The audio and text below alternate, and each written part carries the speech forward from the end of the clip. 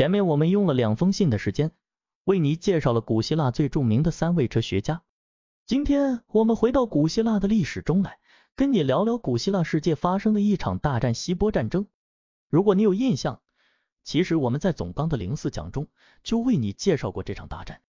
希腊人和波斯人原本都是古印欧人的一支，但是由于波斯人和希腊人分家上千年了，而且走向了不同的文明发展道路，因此当这两个民族都在世界历史舞台上崛起，而且文明圈的范围有重叠时，两种文明之间的对撞也就变得不可避免了。希波战争正是在这个大背景之下发生的。这一场大战前后延续了近半个世纪。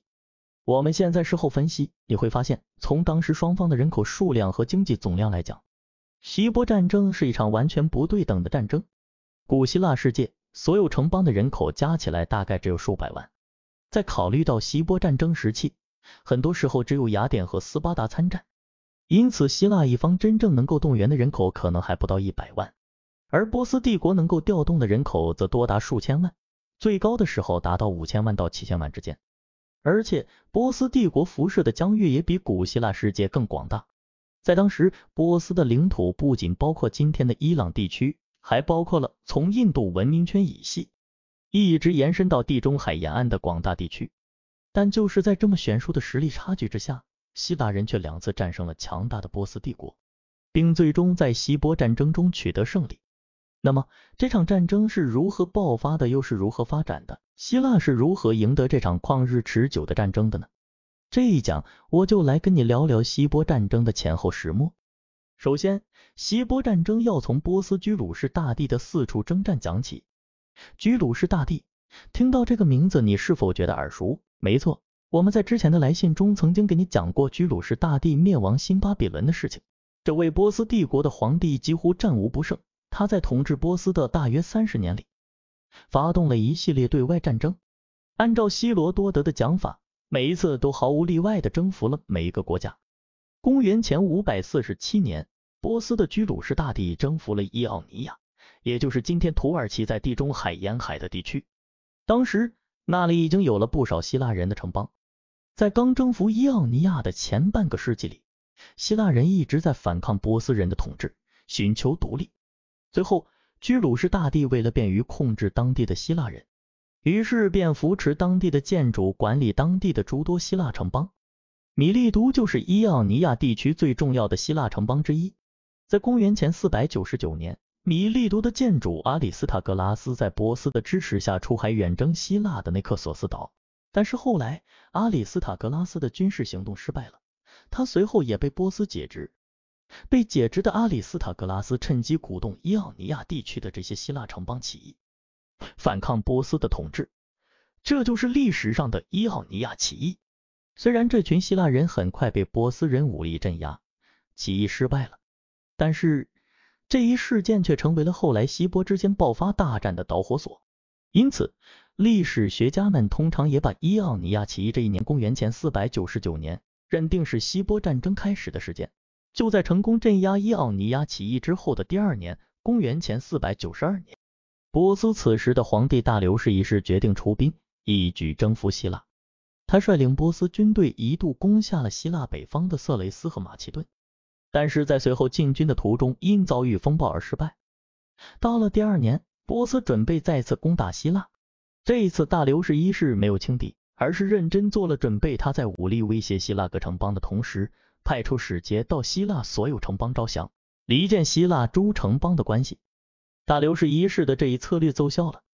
当时几乎所有的希腊城邦都投降了波斯，除了雅典和斯巴达。雅典处决了波斯派来的使节作为回应，而斯巴达也决定对波斯宣战。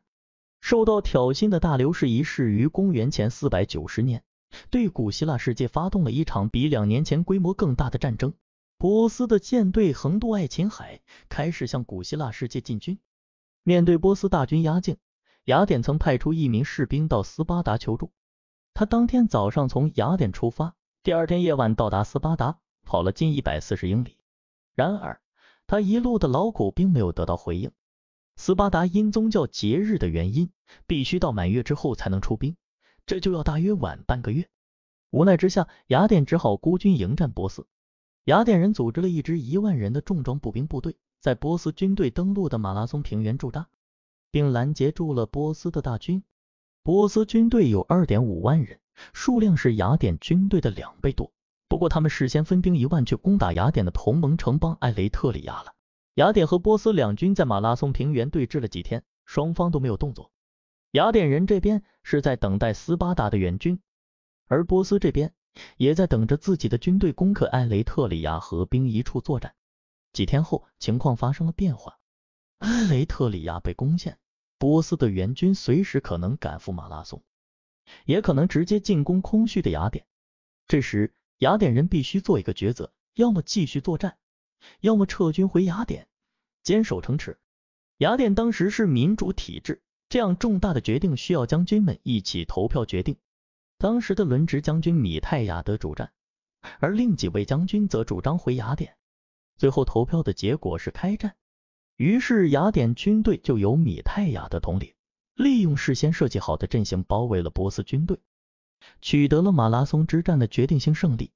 攻陷埃雷特里亚的那支波斯军队原本打算乘虚进攻雅典，但在得知自己的部队在马拉松战败，雅典军正赶回雅典的消息之后，也从海上撤军了。至此，古希腊取得了第一次希波战争的胜利。几年后，一代雄主大流士于公元前四百八十五年死去。此后，波斯虽然有心再次攻打希腊，但无奈内乱不断。直到公元前四百八十年，大流士的继任者薛西斯一世亲率一支二十万人的大军，发动了第二次大规模的战争。这一次，波斯的军队在初期获得了一系列的胜利。但是在温泉关遇到了斯巴达国王列奥尼达一世率领的三百名斯巴达勇士和希腊城邦联军的抵抗，波斯军队最后是在希腊内奸的引导下绕到温泉关的背后，攻陷了温泉关，一度占领了古希腊的大半领土。不过，虽然斯巴达国王列奥尼达一世和他率领的斯巴达勇士几乎全部战死，但由于他们在温泉关一战中成功拖延了波斯军队的进攻。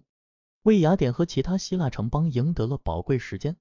后来，古希腊各个城邦都开始积极应战，对抗波斯。在后来的萨拉米斯海战中，以雅典为首的希腊联合海军大获全胜。这一场胜利也成为了第二次希波战争的转折点。随后，希腊人转守为攻，在普拉提亚战役中再次得胜。最后，希腊和波斯双方签订了和平协议——卡里阿斯合约。